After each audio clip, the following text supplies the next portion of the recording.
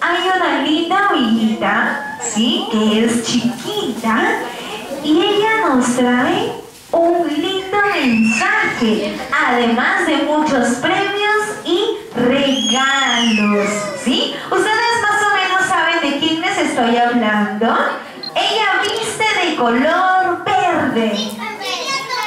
¡Te escucho!